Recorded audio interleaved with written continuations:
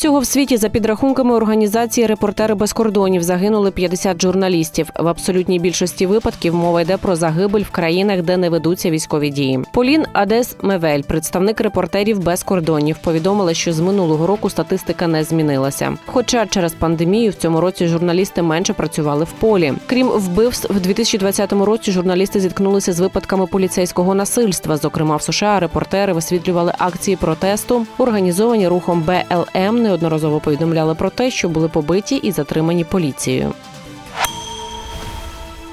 Центральною частиною Хорватії пронісся потужний землетрус. Серед найбільш зруйнованих такі міста, як Петриня та столиця країни, місто Загреб. Поштовхи відчули й у сусідніх містах. За офіційними даними на сайті головного центру спеціального контролю, магнітуда землетрусу була 6 балів за шкалою Ріхтера. Поштовхи такої сили вважають досить сильними, здатними зруйнувати навіть будівлі, що власне в Хорватії відбулося. Зараз на вулицях міст можна побачити військових, які намагаються контролювати ситуацію, надзвичайників, які ліквідовують наслідки трагедії та медиків. Вже відомо і про жертв землетрусу землетрусу, серед яких 13-річна дівчина.